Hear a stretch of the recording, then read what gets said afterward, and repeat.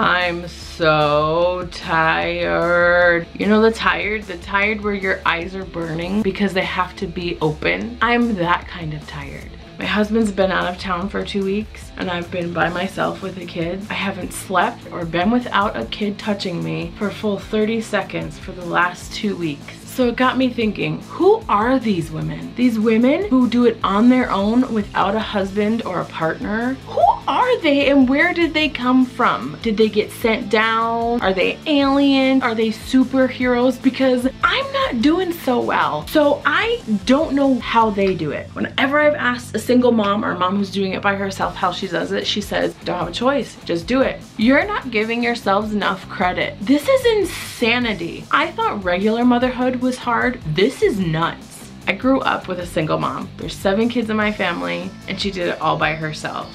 How is she not in the loony bin? My mind is blown. How does this even work? I know that you moms who are doing this on your own say, well, I gotta do it anyway, so I'm gonna do it. But hear me when I say, you're freaking amazing. I cannot imagine doing this by myself without anybody's help. I can't imagine not knowing that there's even just some type of relief if I needed it. I don't know how I would handle it if I felt alone in all of this. I don't know how you handle it.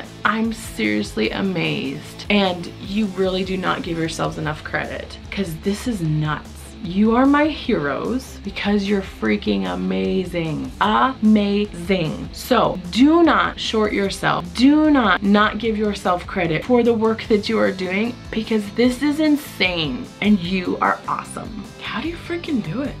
How do they do it? How do they do it?